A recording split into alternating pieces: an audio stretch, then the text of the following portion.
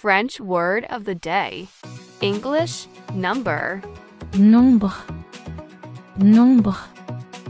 Let's use it in a phrase. English.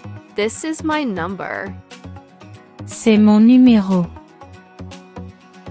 C'est mon numéro. Thank you for liking and subscribing. See you tomorrow for another word of the day.